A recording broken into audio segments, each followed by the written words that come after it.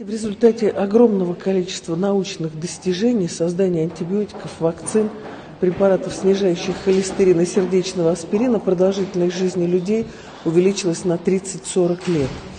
И сегодня, когда в 55 лет женщина выходит на пенсию, совершенно очевидно, что еще 30-40 лет она проживет не работая, и с этим что-то надо делать. Сегодняшний круглый стол, который состоялся, он обсуждал проблемы этих людей. С моей точки зрения, две вещи надо сделать. Первое, немедленно продлить пенсионный возраст до 67, так как это сделано во всех цивилизованных странах.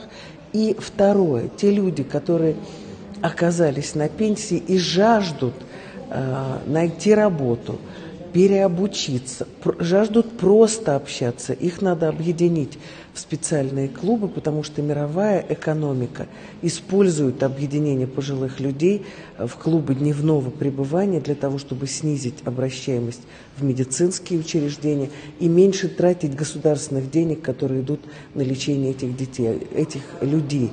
Оказалось, что общение людей старшего возраста снижает их обращаемость в медицинские учреждения. Поэтому во всех отношениях важно заседание этого круглого стола. И, конечно, важны те решения, которые будут приняты в Москве. А Москва сегодня возглавляет список лучших мест мира, и, конечно, это самый прогрессивный город нашей страны.